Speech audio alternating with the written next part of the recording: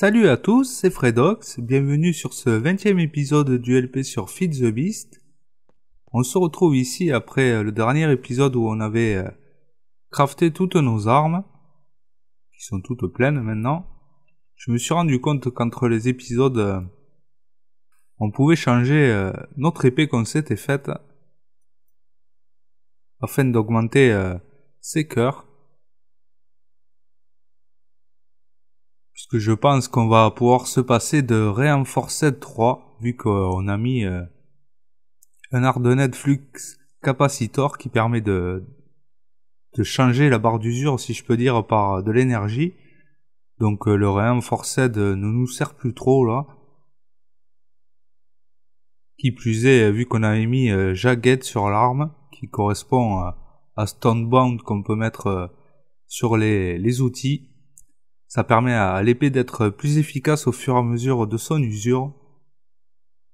Donc avec Reinforced, on va pas trop en profiter du coup. Alors je pense qu'on va changer ça.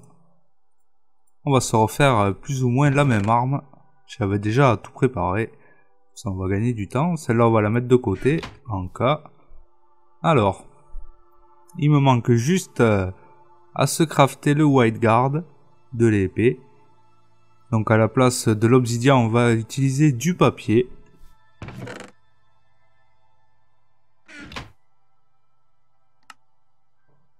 Donc évidemment, le papier ne vaut rien comme matériau, mais il a une particularité assez sympa, vous allez voir. Je le retrouve, voilà.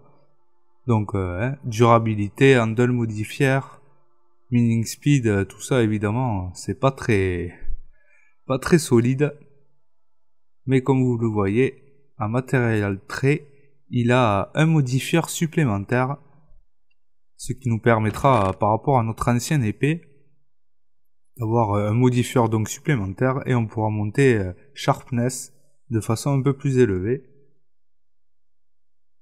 Alors on a du papier ici, il nous manque le white guard est ici, voilà. Alors, matériel cost 0,5 toujours. C'est parfait.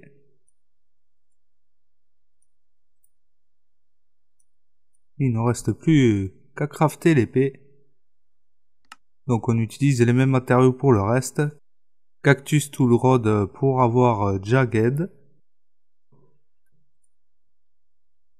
Donc Piper, Paper White Guard ainsi que Magnoline Swordblade pour l'efficacité. Et comme vous voyez, au lieu de 3 modifiers remaining, on en a 4 cette fois. Alors on va aller chercher ce qu'il nous faut.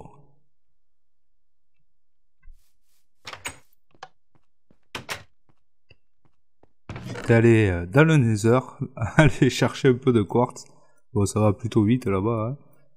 Hein. Euh, il nous faut aussi du lapis. Moi, j'en ai pas eu beaucoup par contre. J'avais lancé euh, quelques queries de plus, mais on commence à être limité en place, donc euh, j'ai d'ailleurs arrêté la ferme à bois là-bas, comme vous voyez. Elle ne coupe plus les arbres pour l'instant parce que les coffres sont full. Voilà, j'ai juste enlevé le fertiliseur du coup, comme vous voyez, nos fertiliseurs, la machine euh, ne tourne plus. On le remettra en route euh, dès qu'on aura réglé euh, le problème de stockage. On va commencer d'ailleurs dans cet épisode. Alors, on va se faire des blocs de quartz.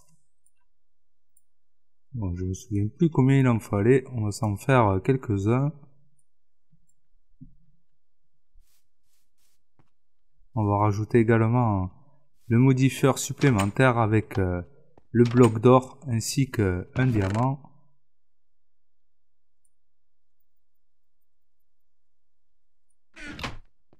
Diamant, il m'en reste quelques-uns.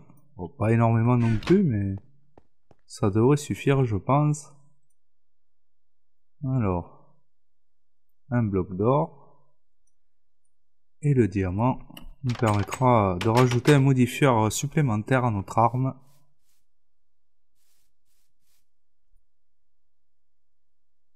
Alors, avant de mettre le quartz, on va mettre euh, les modifieurs essentiels.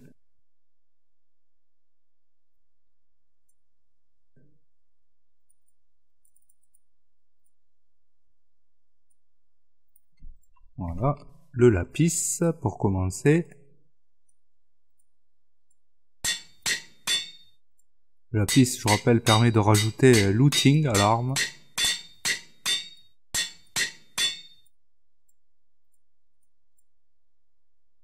Bon, le premier palier, comme vous voyez, est à 450, donc euh, j'attendrai d'en trouver euh, un peu plus. Alors ensuite, on va rajouter le Hardened Flux Capacitor, qui va nous permettre de changer l'usure par l'énergie. Et maintenant, il ne nous reste plus, on va rajouter direct le modifieur, ce qui nous permet d'en rajouter 3 ici. Et tout le reste, on va le passer en quartz afin d'avoir euh, sharpness. Donc le premier palier est à 72. Comme vous voyez, deux modifieurs remining.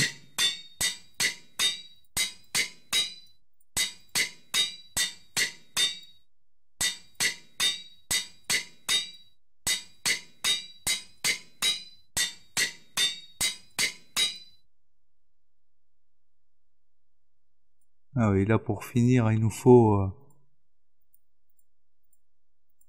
voilà, il nous manque euh, qu'un euh, qu'un quartz pour passer le palier, donc il faut enlever les blocs afin de passer ce même palier, donc. Voilà, maintenant on peut remettre... Ah non, il faut repasser, ouais. Voilà. Là, ça devrait être bon. Il nous reste encore un modifieur, ça fait que cette fois on pourra monter au-dessus de 144.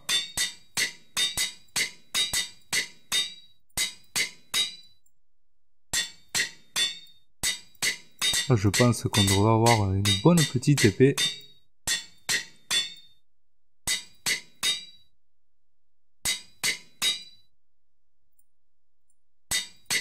Voilà, même chose.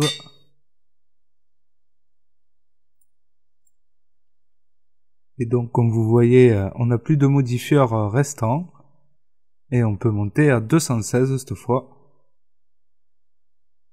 Donc là 144 c'était 6 cœurs et demi, euh, rappelez-vous sur euh, l'arme qu'on avait fait précédemment.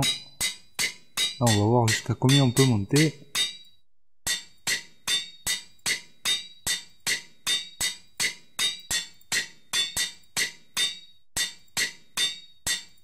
On est presque.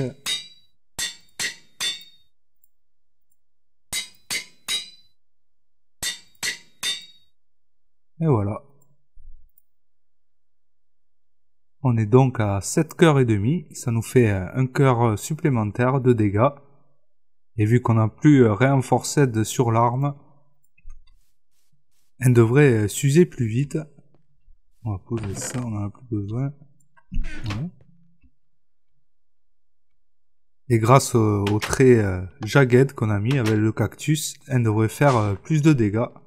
Ça serait pas mal qu'on arrive à 10 cœurs de dégâts on pourrait euh, one-shot euh, les mobs avec 10 cœurs euh, de vie, comme la plupart des mobs d'ailleurs. Alors, on va la charger.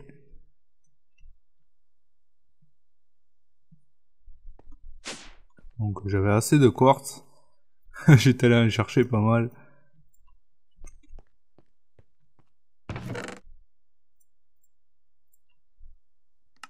Voilà.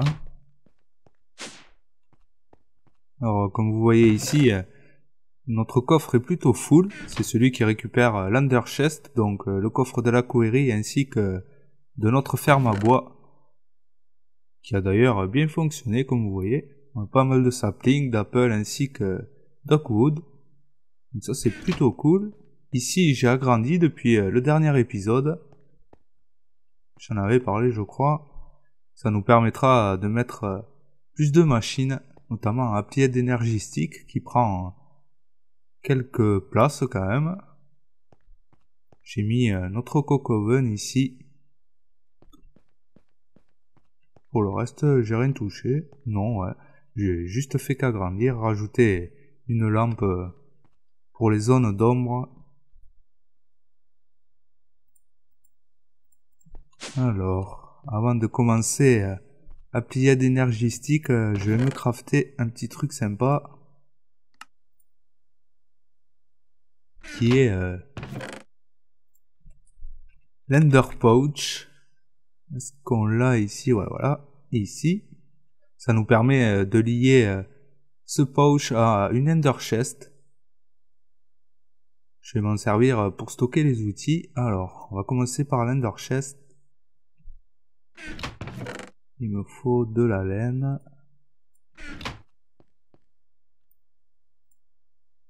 Hop, non, c'était... Plein, ouais. Voilà. Une laine. Des blaze rod, il m'en reste, il me semble, ouais. Under pearl. Ainsi que de l'obsidian. Bon, pas un problème pour l'obsidian, hein. on a notre machine en bas qui peut en fabriquer à l'infini maintenant. Ainsi qu'une chest.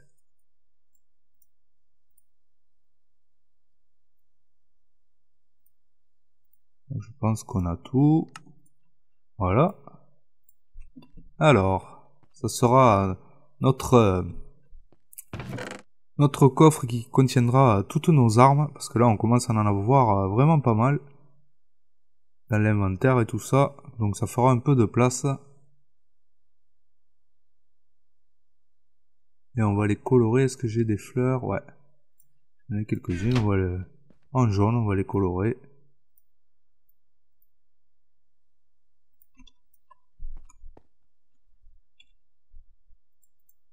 on va poser notre Ender Chest.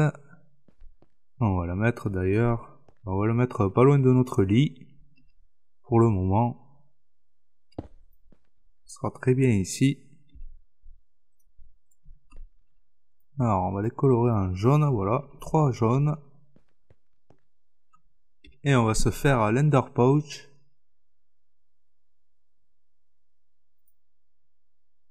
Qui se fait avec 4 euh, Blaze Powder, une laine, une Ender Pearl ainsi que 3 cuirs. On a tout. Pas de problème. Ender Pearl, on a une laine.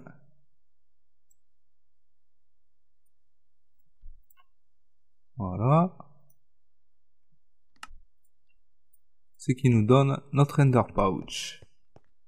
Il ne reste plus qu'à le linker avec l'Ender Chest. Vous faites euh, un Shift clic droit et comme vous voyez, euh, en bas à droite, euh, enfin, sur l'item lui-même, ça a changé en jaune.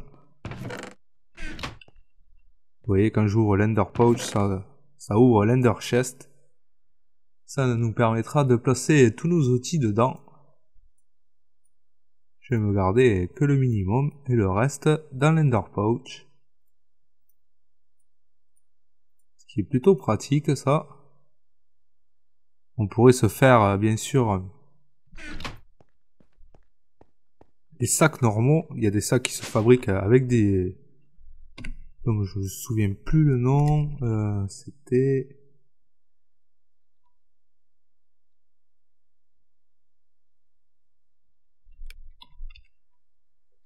Semble qu'on les fabriquait avec ça. Et on... C'était peut-être avec euh, la laine. Non.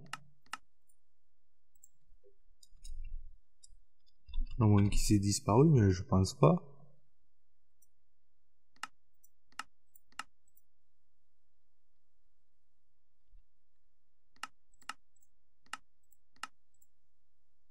Ah oui, on a déjà le Knap sac. Qu'on rajoute euh, ici, voilà, on peut le rajouter ici. Là aussi, on pourrait se le faire, ça ferait euh, un emplacement supplémentaire.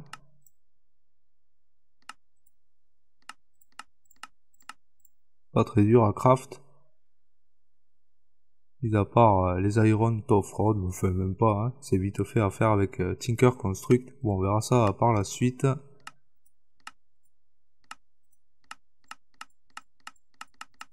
C'est les pouches. Oh, je me souviens plus du nom, vraiment, là. Et toujours est-il qu'on a accès à différents sacs. Ah ouais, si, ça y est. Avec... Euh...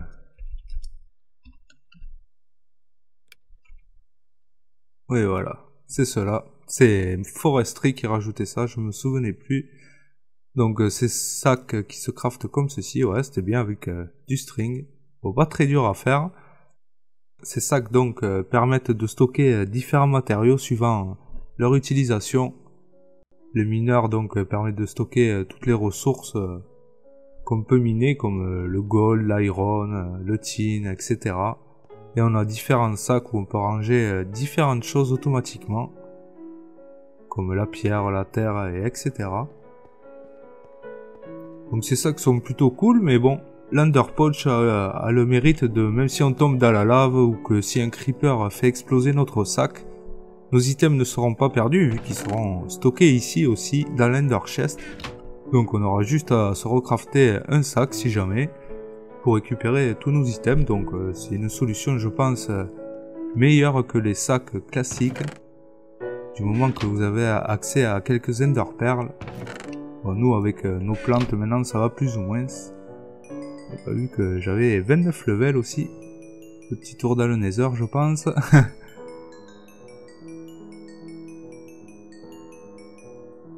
voilà. Ouais, ça nous a rempli euh, l'auto-enchant table. On manque un peu pour euh, l'enclume. On va récupérer notre épée, qui est maintenant pleine.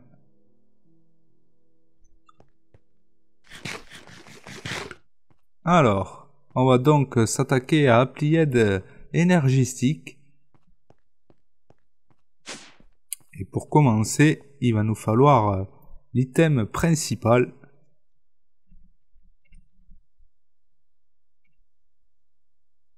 Qui est euh, l'EM Controller je le trouve. Oui, il est ici. Qui se craft donc euh, comme ceci, de l'iron, flux crystal et un ME Advanced Processor. Alors, les flux crystal se craftent comme ceci. Nether Quartz, Certus Quartz et Redstone. Nous en faut 4.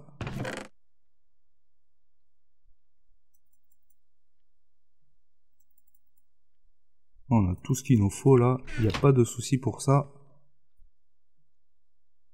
Depuis le début, euh, je ramassais de toute façon euh, tous les quartz que je trouvais en prévision.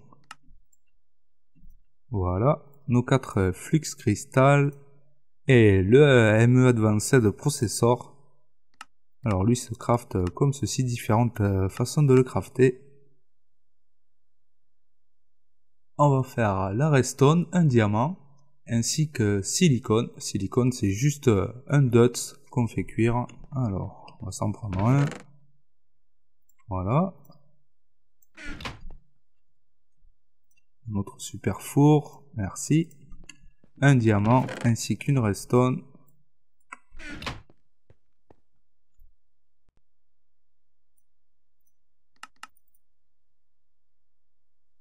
Ah oui, c'est dans la sabli euh, table. Hop.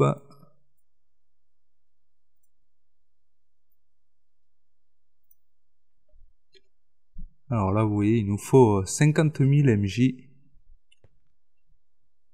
Bon, ça devrait aller plutôt vite. Ouais, c'est un peu long quand même. c'est vrai qu'avec euh, cette conversion là, RFMJ, je sais jamais euh, combien ça fait exactement. Donc après, il va nous falloir avec ça un ME Drive qui sera le deuxième item qu'on va crafter qui va nous permettre euh, de stocker euh, des ressources. Alors pas très dur non plus iron du verre un coffre ainsi que des basiques processors cette fois. Toujours dans l'assembly table avec redstone gold et silicone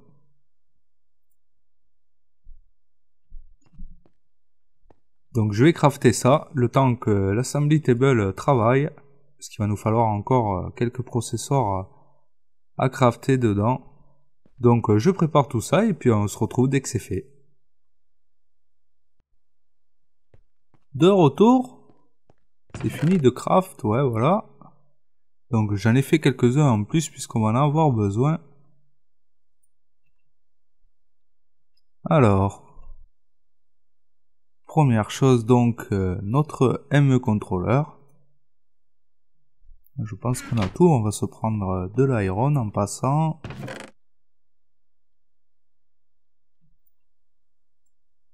Voilà. Alors, ME contrôleur. Ainsi que notre ME drive. Et il me faut une chaise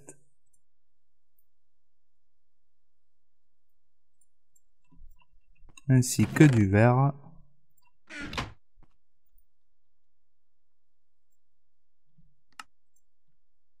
Et nous avons notre M-Drive.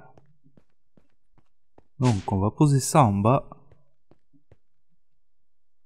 Je vais le faire sur ce mur. Puisqu'on se mettra les terminaux d'accès en haut, je pense que cette salle est un peu vide depuis le début. On va s'en servir euh, pour mettre tout ce qui est euh, applié énergétique. Alors j'ai le câble qui traverse ici, me semble. Ouais, voilà. Puisque le système euh, d'appliade énergétique utilise de l'énergie pour fonctionner, il va nous falloir le relier Ouais, ben on va le mettre euh, ici. Hein.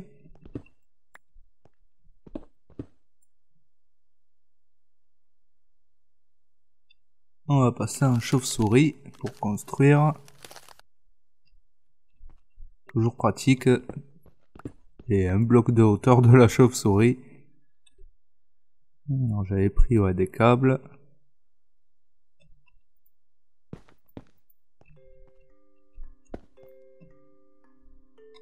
Et on va mettre euh, notre ME contrôleur et donc euh, le bloc principal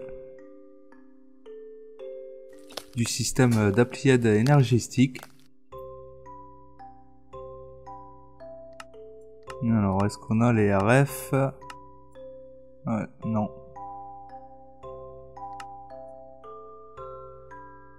Avant, on utilisait les MJ, donc euh, c'était plutôt pratique, mais là, apparemment, appliade énergétique toujours pas pris en compte les RF.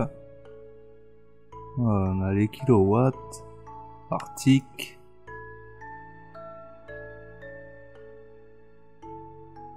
Les watts ouais, de Rotary Craft.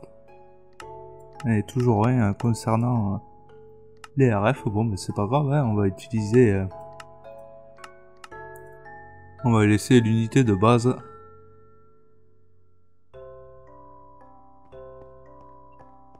sont ici tant que ça tient le choc. Hop, petit freeze.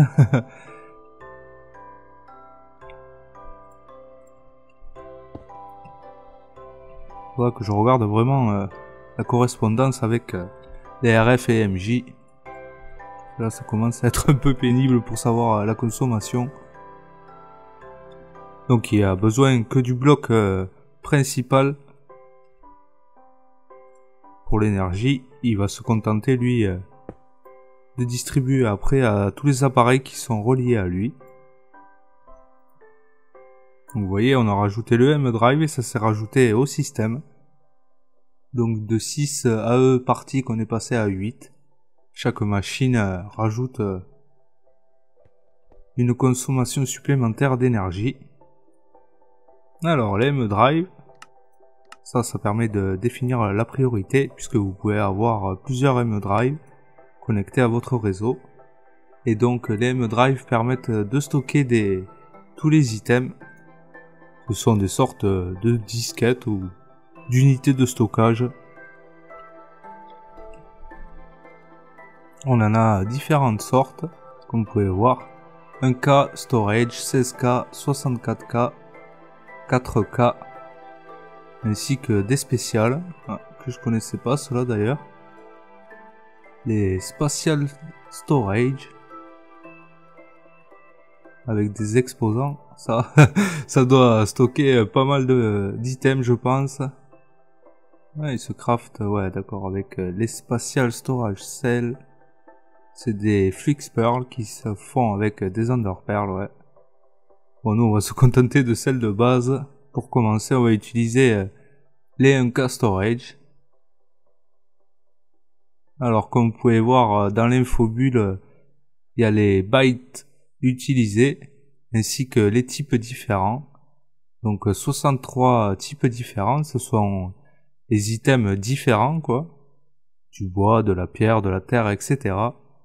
Et 1024, c'est le nombre d'items qu'on peut stocker. Donc pour toutes les cellules, comme vous pouvez voir, le type n'augmente pas. C'est juste euh, la capacité de stockage qui augmente. Alors on va se faire 3 1K pour commencer et après on se fera une 16K. Les 3 1K permettant de stocker plein d'items différents, même si on les a pas en grande quantité. Tandis que la 16K nous permettra de stocker des grandes quantités d'items, comme par exemple nos fermes. Donc, la ferme à bois, on va rapidement avoir euh, beaucoup de bois, d'apple ainsi que de sapling. Là, il va nous falloir euh, pas mal euh, de stockage. Alors, on va commencer par les 1K.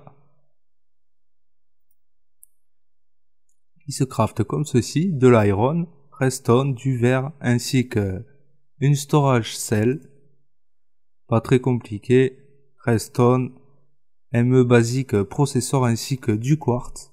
C'est pour ça que j'avais fait euh, plusieurs processeurs. Alors du quartz, Redstone.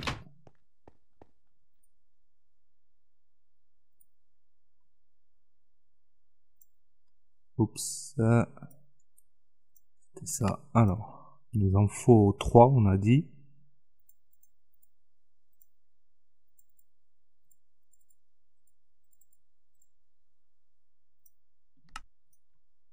Voilà, on les a, c'est parfait. Bon, ça se stack pas. Hein.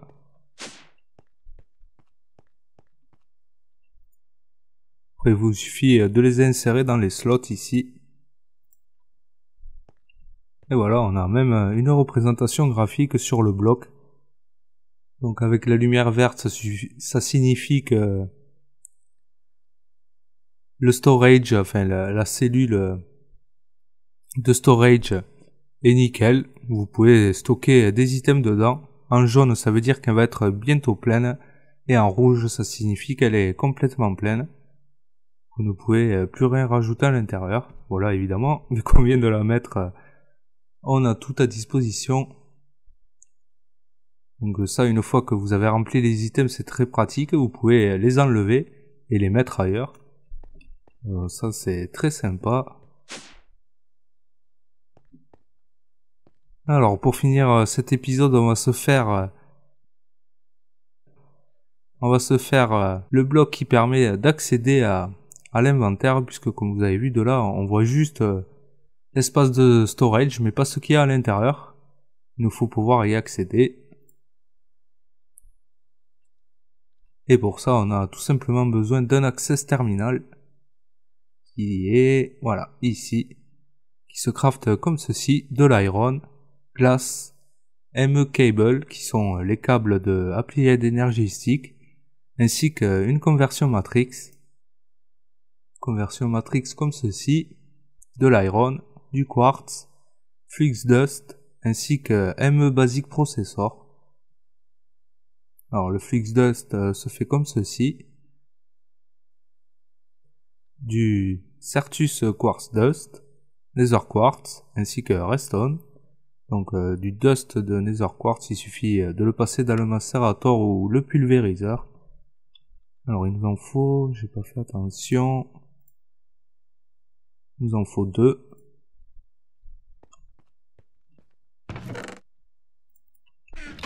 On va faire macérer ça tout de suite. Après, qu'est-ce qu'il nous faut? Ah oui, le câble. Ah ben, trois Flix Dust aussi. On va s'en faire 3 de plus.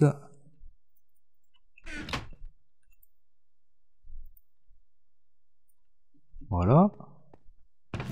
Du verre, on va en reprendre un petit peu.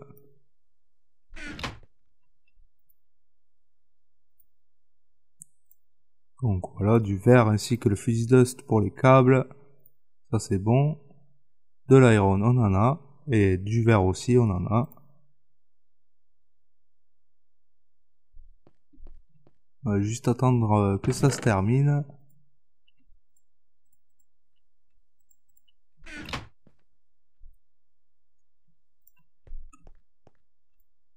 On va commencer.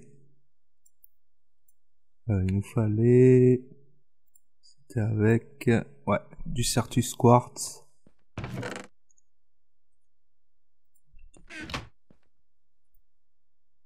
Voilà. Ainsi que deux redstone. Ça nous en donne 4. On va se faire les câbles pour commencer. 3 suffiront pour le moment. Alors ici, presque bon.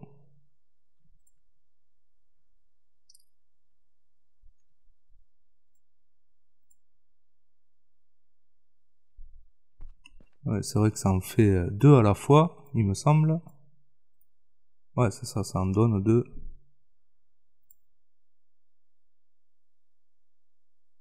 On va pas mal en avoir besoin, donc euh, on va les faire.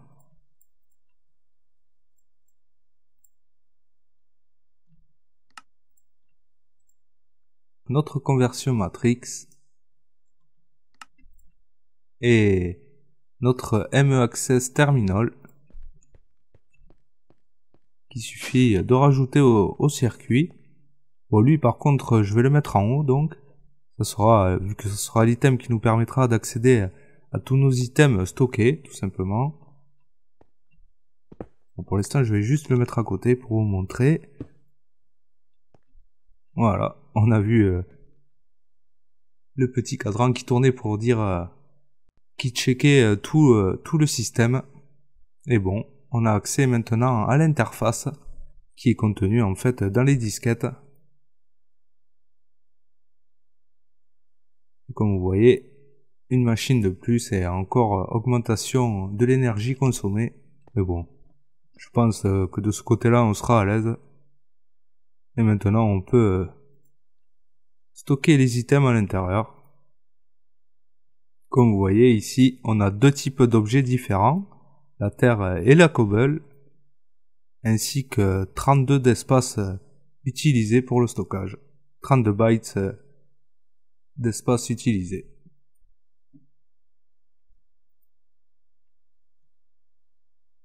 C'est ça, c'est marrant d'ailleurs. Vu qu'on a 128 items stockés, ça ne prend que 32 de place. Donc ça permettra déjà de stocker euh, pas mal de nos items, je pense. Là, évidemment, vu que je suis full.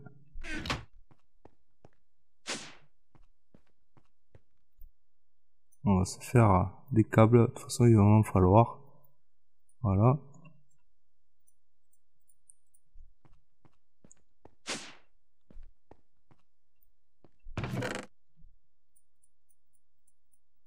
On va se prendre les apples.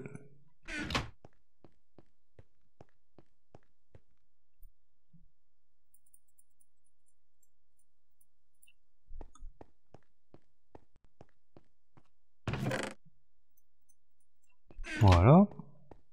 Je vais pouvoir relancer ma ferme à bois.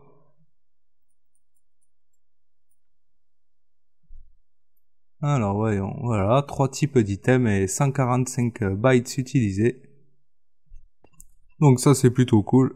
On a maintenant notre terminal nous permettant de stocker euh, tous les items. Donc on relira à terme les coffres, notamment les Ender Chest, directement au circuit de Applied Energy Stick afin qu'il puisse vider euh, tous les items directement. Ici à gauche vous avez euh, différentes options pour sortir les items. pour pouvoir s'y retrouver, ainsi qu'une barre de recherche.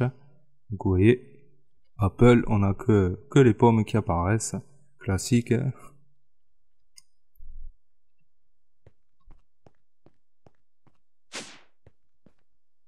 Voilà, on va s'arrêter là pour cet épisode. On continuera dans le prochain à installer tout ça. Ça prend un petit peu de temps au début à, à mettre en place Applied d'énergie stick. Mais une fois que c'est fait, vous verrez, ça vaut plutôt le coup. Bon, on va attendre d'avoir relié euh,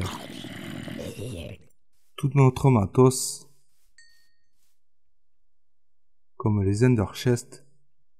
Avant de, de remettre tout en route.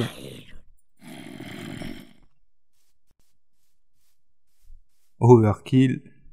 Que l'épée s'use, euh, devient plus efficace. Pas encore, bien sûr, au niveau des cœurs. Donc on mettra une Ender Chest ici aussi. Pour plus avoir à s'embêter avec les tonneaux. Ça stockera directement dans notre système. Donc voilà, on continuera la prochaine fois la suite d'Applied d'énergie On se fera, je pense, les différentes machines qu'il nous faut. Entre autres, euh, le multi-bloc qui permet de, de craft automatique d'items, qui est plutôt sympa. Donc voilà, euh, j'espère que ça vous a plu, et puis on se retrouve euh, la prochaine fois pour la suite. Allez, salut